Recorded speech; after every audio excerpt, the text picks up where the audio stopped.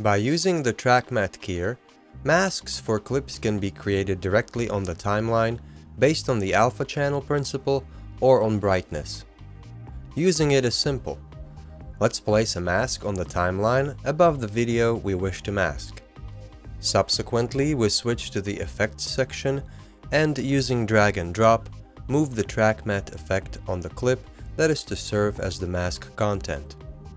Now let's look at the track matte filter setting options under Information. There are two options based on which the mask can be applied. The first is mask creation based on brightness.